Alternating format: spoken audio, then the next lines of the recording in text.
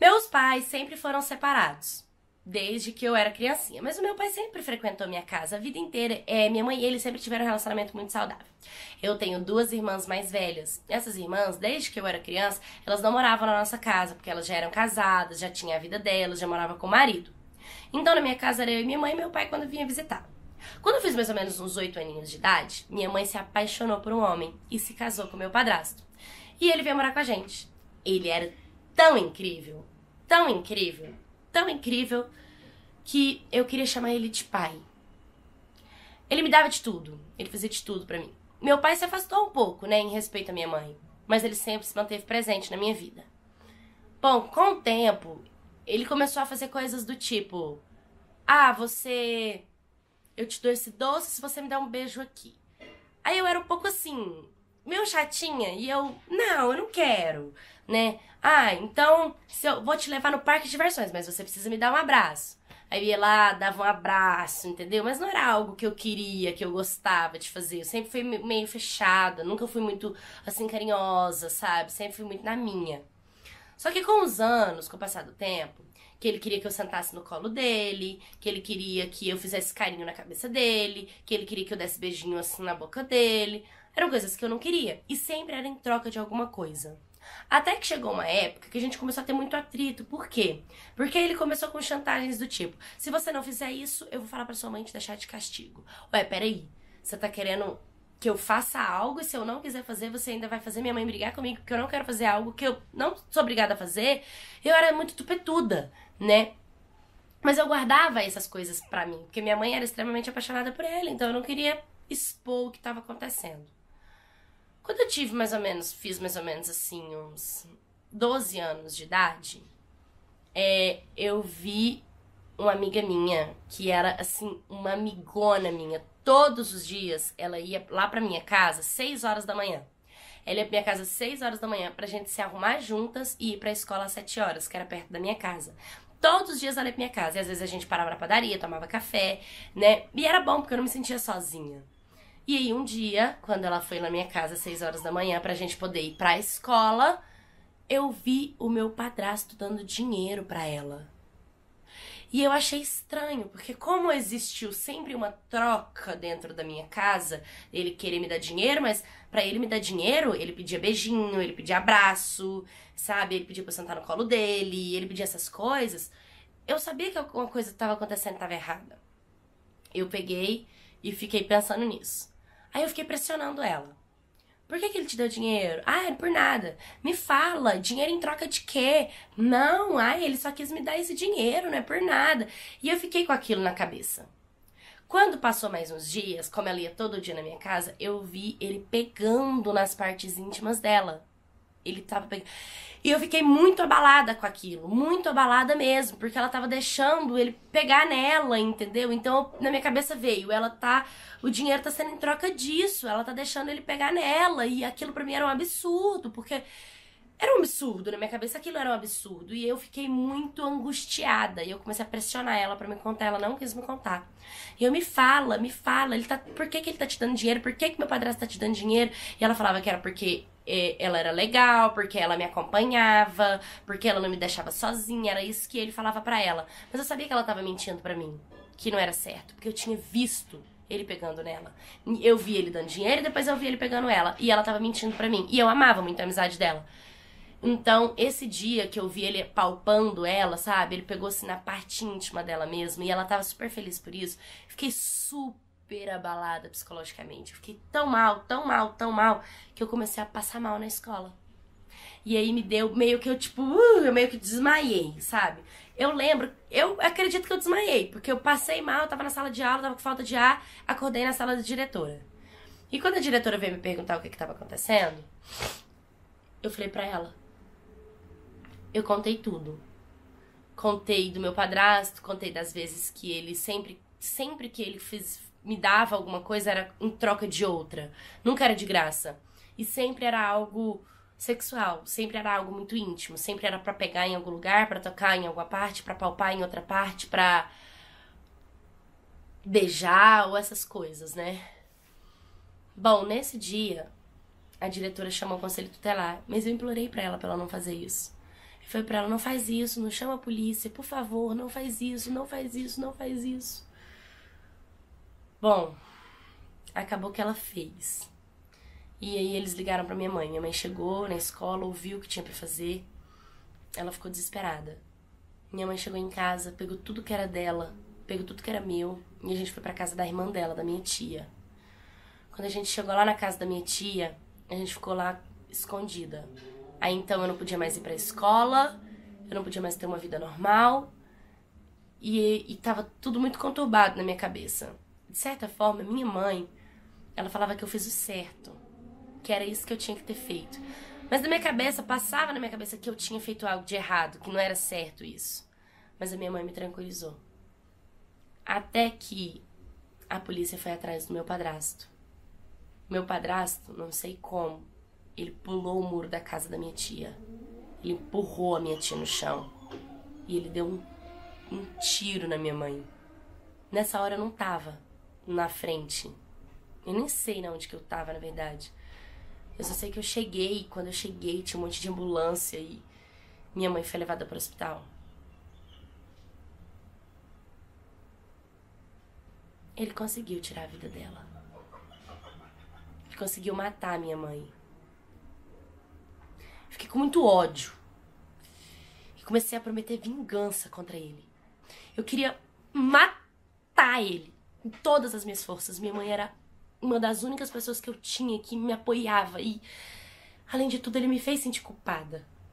A minha tia disse que não era culpa minha, que ele era doente. Mas eu me senti muito mal. No dia do velório da minha mãe, chegaram em mim falando que ele deu um tiro na cabeça dele, que ele já tinha se matado. E eu fiquei feliz. Eu só fiquei triste porque era para eu ter matado ele. Era para eu ter matado, não ele. Mas ele fez isso. Ele foi embora. Se matou. Fraco. Eu fiquei tão mal. Tão doente. Bom, eu fiquei tão acabada, tão depressiva, que meu pai me mandou para uma escola de internato, onde eu ficava de segunda a sexta e só ia para casa dele no final de semana. No internato eu tentei suicídio algumas vezes. Visto que eu estava com problema, fui levada para uma clínica. Fiquei internada numa clínica médica. Minhas irmãs iam me visitar e meu pai também. Então meu pai deu a ideia de eu ir morar na casa da minha irmã quando eu saísse da clínica. Isso eu já estava com quase 14 anos.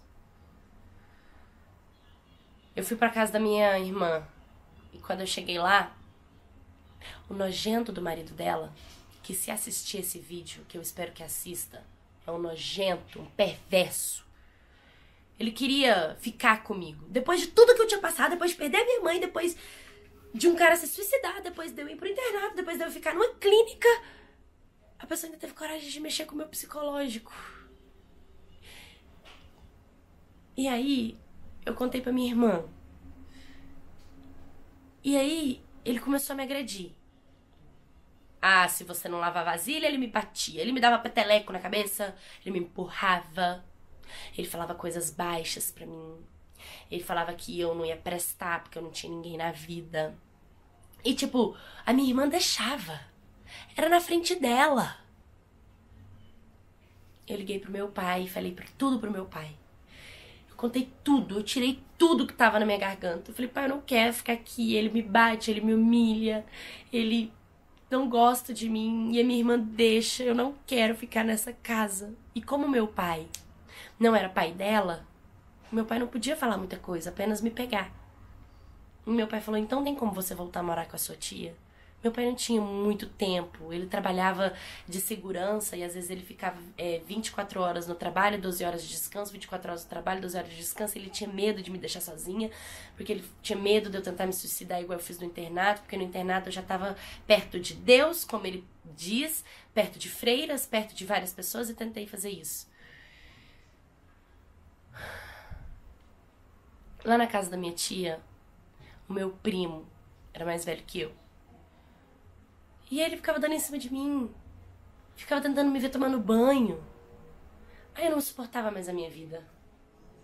De verdade, eu queria morrer. Eu só queria me matar. Cara, nenhum lugar que eu ia eu era bem-vinda. Ninguém parece que gostava de mim. Ninguém tinha dó da minha história. Cara, eu fui assediada por um padrasto a vida inteira e ele matou a minha mãe. Depois ele se matou. Será que ninguém enxergava? Ninguém tinha piedade da minha alma? Talvez Deus tivesse se eu me matasse.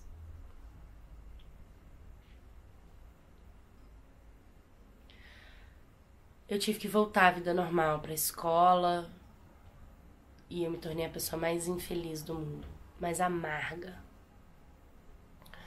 Até que um dia, quando eu tava saindo da aula, eu parei na praça da minha da, perto da casa da, onde eu morava, da minha tia, e tinha um homem lá.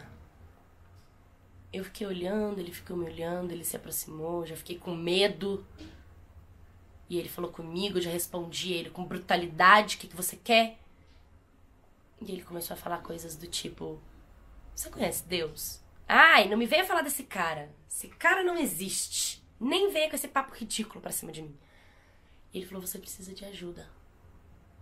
Eu olhei assim pra ele e falei: Você não sabe de nada da minha vida. Ele falou: Não sei da sua vida, mas a sua áurea tá escura.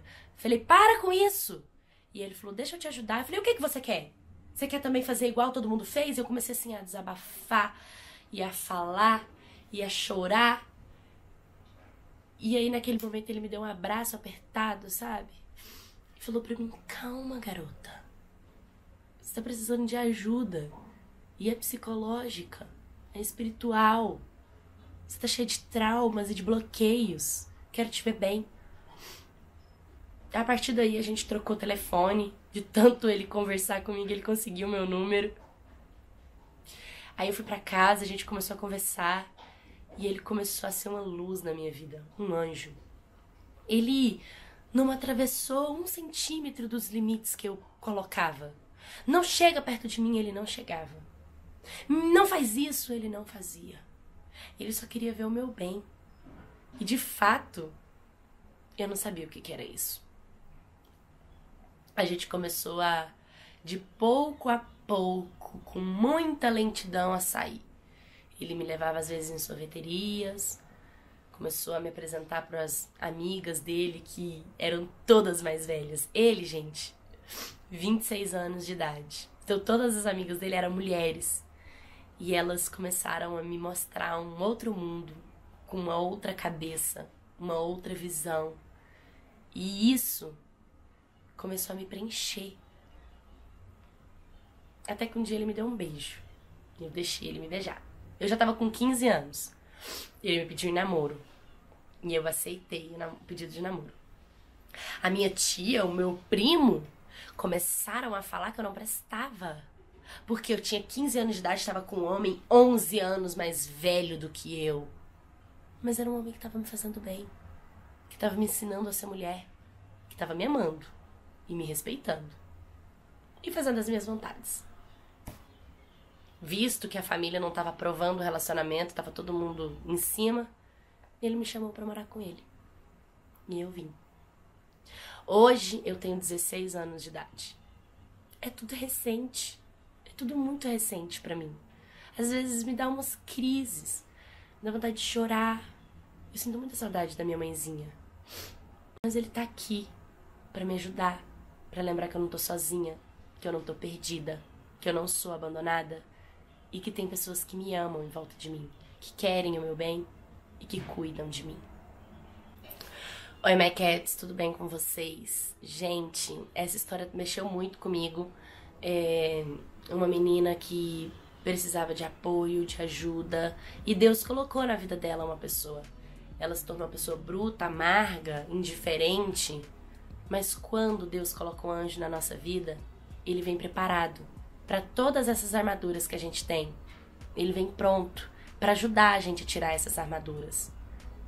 Então, eu agradeço muito pela vida desse anjo que apareceu na vida dessa mulher. Eu espero do fundo do meu coração que hoje ela esteja bem, que ela esteja feliz, que a mãezinha dela esteja com Deus e que esse ser humano que tirou sua vida, ele possa aprender, evoluir, porque ele se matou, né? E de certa forma, Ele precisava de pagar pelas coisas que ele fez. E era na terra, era em vida que ele tinha que aprender. Bom, é uma história chocante, mas é uma história de superação. É uma história que mostra que na, no fim do túnel sempre existe uma luz. E eu quero deixar um recado para vocês. Não desacreditarem da vida de vocês. Não desacreditarem, mesmo quando você estiver sofrendo, você estiver na amargura, você estiver no sofrimento e você acreditar que nada faz sentido. Faz. Comece a colocar esperança nas suas coisas, na sua vida. E acreditar que você vai vencer os obstáculos. Mande sua história, curta, comenta, compartilha, se inscreva no canal. Um beijo e até o próximo vídeo.